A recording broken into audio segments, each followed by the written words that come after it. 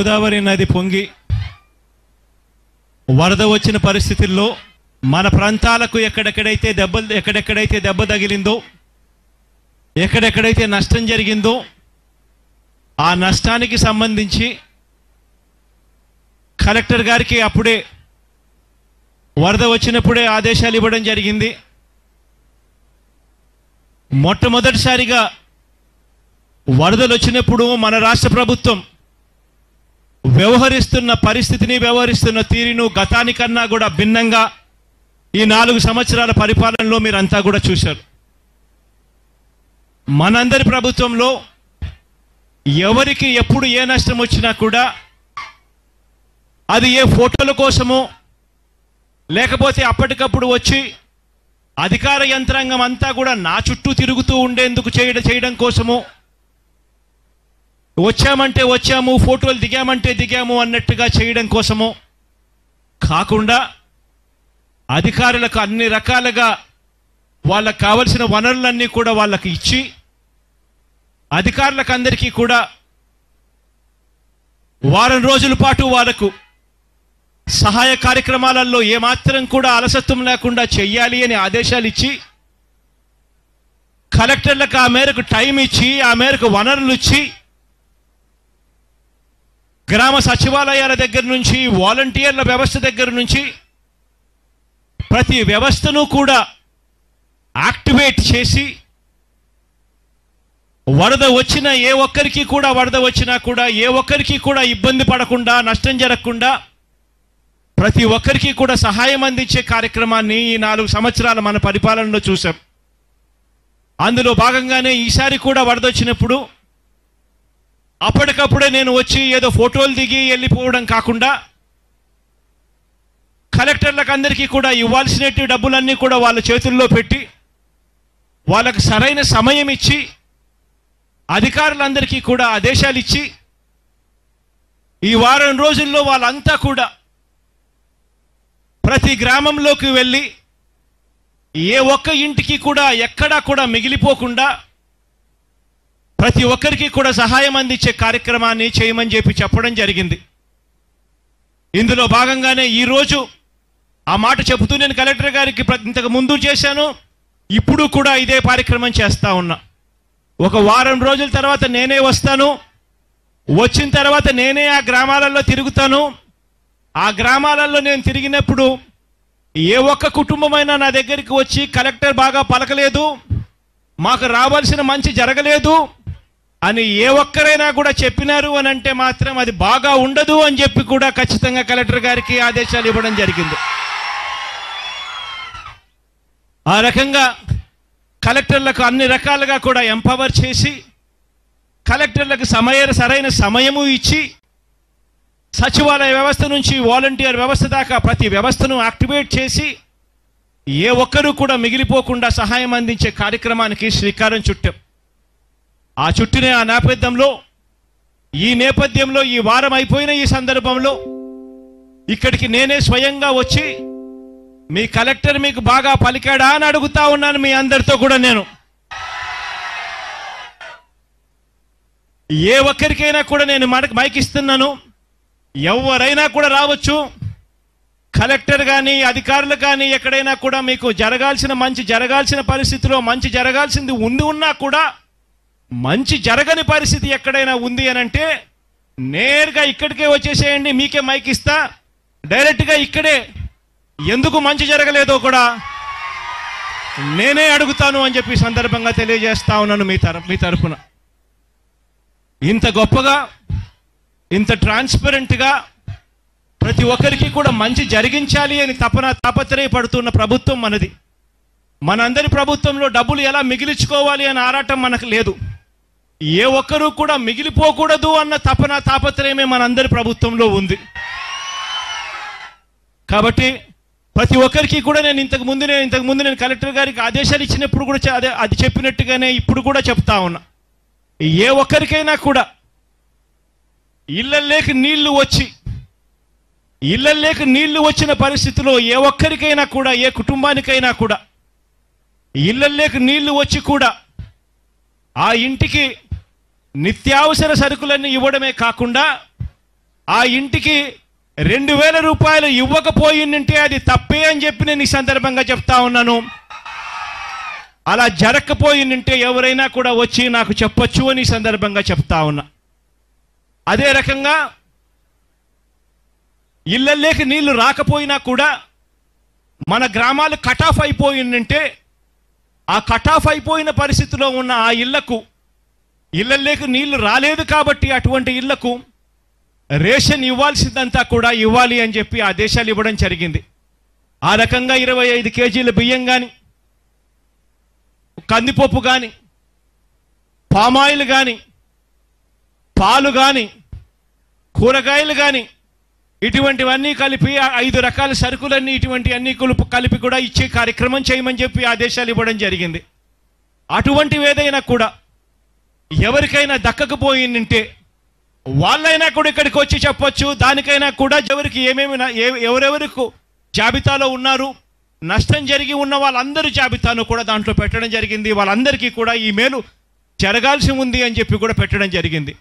ఒకవేళ పొరపాటున మీకు ఏదైనా నష్టం జరిగి ఉండి ఆ జాబితాలో మీ పేరు గన ఒకవేళ లేకపోయిందంటే వెంటనే ఆ జాబితాలోకి ఆ పేరు చేర్పించి ఖచ్చితంగా వాళ్ళకు మంచి జరిగించే కార్యక్రమం చేయడం కోసమే మీ జగన్ మీ దగ్గరికి వచ్చాడు అని సందర్భంగా తెలియజేస్తా ఉన్నా. ఈరోజు మరొక్కసారి మళ్ళీ చెప్తా ఉన్నా. ఈ ప్రభుత్వం మీది అని సందర్భంగా తెలియజేస్తా ఉన్నా. మీరంతా తోడుగా ఉన్నారు కాబట్టి మీ బిడ్డ ఈరోజు ముఖ్యమంత్రి స్థానంలో కూర్చొని ఉన్నాడు. మీ బిడ్డ మీకోసమే ముఖ్యమంత్రి స్థానంలో కూర్చొని ఉన్నాడు అన్నది మాత్రం మర్చిపోవద్దని చెప్పి తెలియజేస్తూ మీలో ఏ ఒక్కరికి ఏ కష్టం వచ్చినా కూడా దానిని తీర్చడం కోసము దానిని పరిష్కరించే దానికోసం ఎల్ల వేళలా మీ బిడ్డ కృషి చేస్తాడు అని ఈ సందర్భంగా తెలియజేస్తా ఉన్నాను మీ అందరితో కూడా. ఇక మీకు మీలో కొంతమంది మాట్లాడడానికి మైక్ ఇస్తాను. ఎవరైనా వచ్చి మాట్లాడచ్చు. ఇవే కాకుండా ఇక ఈ ప్రాంతానికి సంబంధించి ఒక జనరల్ ఇష్యూ ఒకటి ఉంది. ఆ జనరల్ ఇష్యూ అన్నది పోలవరం ప్యాకేజీకి సంబంధించిన ఒక జనరల్ ఇష్యూ ఇక్కడ నేను మీ అందరికీ కూడా నేను ఒకటే తెలియజేయాలనుకుంటా ఉన్నాను. ఇంతకు ముందు కూడా నేను మీ అందరికీ కూడా ఇదే చెప్పా. మీ జగన్లో కల్ముషం లేదు. మీ జగన్ ఎప్పుడైనా కూడా మీకు మంచి చేయడం కోసమే మీ జగన్ ఎప్పటికీ కూడా ఆరాట పడతాడు పోరాడతాడు అని సందర్భంగా ఎప్పటికీ కూడా తెలియజేస్తా ఉన్నాను. ఈరోజు నిజంగానే లాస్ట్ టైం నా దగ్గరికి వచ్చినప్పుడు లాస్ట్ టైం నేను ఇక్కడికి వచ్చినప్పుడు మా మా గ్రామాలు కొన్ని కొన్ని గ్రామాలు. నలభై ఒకటి point forty one point one ఫైవ్లో కాంటార్ లెవెల్లో మాయి. లేనప్పటికీ కూడా మా ఆ గ్రామాలకు వెళ్ళే పరిస్థితి లేదు. కట్ ఆఫ్ అయిపోయిన గ్రామాల కింద మేము ఉండిపోతాము. అటువంటి పరిస్థితిలో మేమంతా ఉండాము అని చెప్పి కూడా చెప్పడం జరిగింది. అటువంటి గ్రామాలందరికీ కూడా మంచి చేయడం కోసం నేను ఇక్కడికి వచ్చి వెళ్ళిపోయిన తర్వాత లిడార్ సర్వే చేయించాం. కేంద్ర ప్రభుత్వానికి పంపిస్తూ కేంద్ర ప్రభుత్వానికి చెప్పడం కూడా జరిగింది. మీరు మొదటి ఫేజ్ కింద నలభై ఒకటి పాయింట్ ఒకటి ఐదు మీటర్ల దాకా మీరు నీళ్ళు నింపే కార్యక్రమం ఏదైతే మీరు చేస్తూ ఉన్నారో ఎందుకనంటే ఈ నీళ్ళు నింపాలి అని అంటే అది మూడు దఫాల్లో నింపాలి. లేకపోతే డ్యాము సెక్యూరిటీ సిడబ్ల్యూసి ప్రకారం సిడబ్ల్యూసి డ్యామ్ సెక్యూరిటీ నామ్స్ ప్రకారము డ్యామ్ నింపే కార్యక్రమం మూడు స్టేజెస్లో నింపాలి. ఒకటే స్టేజ్లో డ్యామ్ మొత్తం నింపినాము అని అంటే డ్యాము లో లీకేజ్ లీకేజ్లై డ్యామ్ కూలిపోయిన పరిస్థితి కూడా అప్పుడప్పుడు ఉంటుంది అనే ఉద్దేశంతో మూడు ఫేసుల్లో డ్యాములు నింపుకుంటూ పోవాలి. లీకేజీలు ఎక్కడైనా వచ్చే వస్తే ఉంటే దాన్ని చూసుకొని రిపేర్ చేసుకొని ఆ తర్వాత మళ్ళీ సెకండ్ ఫేజ్లో మళ్ళీ సెకండ్ ఇయర్ సెకండ్ ఇయర్ మళ్ళా ఇంకా ఇంకా ఇంకా కొంచెం నింపాలి. థర్డ్ ఇయర్ మళ్ళీ పూర్తిగా డ్యామ్ నింపాలి అని చెప్పి మూడు సంవత్సరాలలో మూడు ఫేసుల్లో డ్యాములు నింపే కార్యక్రమం చేయాలి అని సిడబ్ల్యూసి డ్యామ్ సెక్యూరిటీ నామ్స్ ప్రకారం రాసి ఉంది కాబట్టి వాళ్ళు నలభై ఒకటి పాయింట్ ఒకటి ఐదు దాకా ఫస్ట్ ఫేజ్లో డ్యాములో నీళ్ళు నింపే కార్యక్రమానికి వాళ్ళు కేంద్ర ప్రభుత్వం అనుమతి అనుమతి ఇచ్చింది. వాళ్ళు ఆ రకంగా చేయడానికి సిద్ధపడతా ఉన్నారు. సో డ్యామ్ మొట్టమొదటిసారిగా డ్యామ్ కట్టేది పూర్తి హైట్కి డ్యామ్ కడతాము.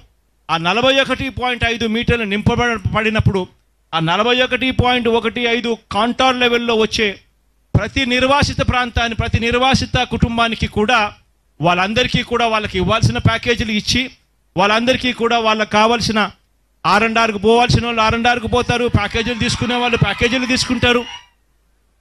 ఆ రకంగా వాళ్ళందరికీ కూడా న్యాయం చేయడం జరుగుతుంది. మనం అధికారంలోకి వచ్చిన తర్వాతనే ఈ లిడార్ సర్వే ఇనిషియేట్ చేయడము ఈ లిడార్ సర్వే చేయించడము ఈ లిడార్ సర్వే పూర్తి చేయడము పూర్తి చేసిన తర్వాత ఈ లిడార్ సర్వేకి సంబంధించిన ఈ గ్రామాలు కేంద్ర ప్రభుత్వానికి పంపించడము కేంద్ర ప్రభుత్వాన్ని ఒప్పించడము ఇవన్నీ కూడా జరిగాయే నీ సందర్భంగా చెప్పడానికి మీ బిడ్డగా సంతోషపడతా ఉన్నా.